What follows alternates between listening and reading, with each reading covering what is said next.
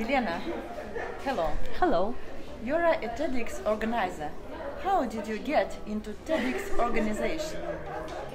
Uh, well, it is actually a, a, very interesting story. I got to, to TEDx organization through uh, Toastmasters uh, because um, I was sitting at the after party with my Toastmasters friends and we discussed that maybe we should organize something bigger than just our small conference or contest and we should do a TEDx event in our city and uh, I was living in Łódź, in a city in Poland, mm-hmm. uh, where there was no TEDx event. So I applied for the event, and uh, I got the license in a few months.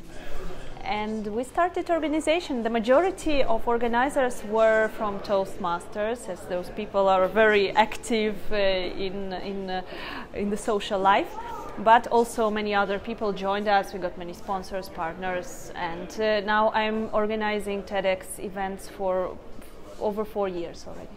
Oh, perfect. What is the difference between TEDx speech and Toastmasters speech? Uh, well, there are few quite uh, big differences. Uh, the, the biggest difference is time. Usually, Toastmasters speech is five to seven minutes.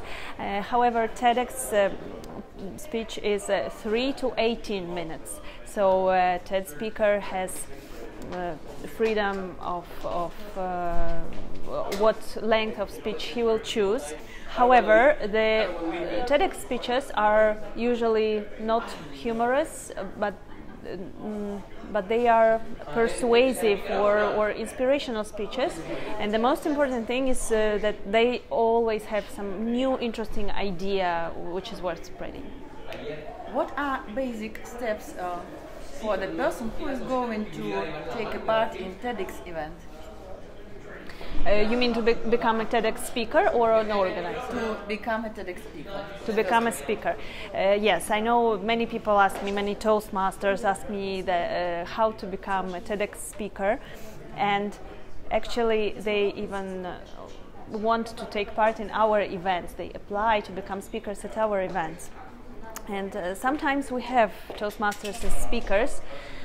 Um, the main thing is that you need to have an idea which is unique, which is worth uh, spreading. Sometimes speakers, professional speakers, even contact us and they say, I want to be a speaker. And we ask, What is your idea? And uh, he says or she, um, I can speak about anything. What is the topic of your conference? I will adapt. So we don't accept such speakers. This is, this is what you should not do if you want to become a TEDx speaker.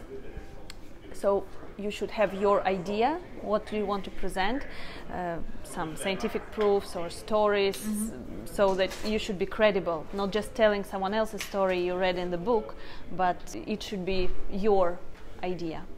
And uh, after that, to convince TEDx organizers, you need to apply for such an event, to describe your idea, why it is worth spreading, and then they will consider your application.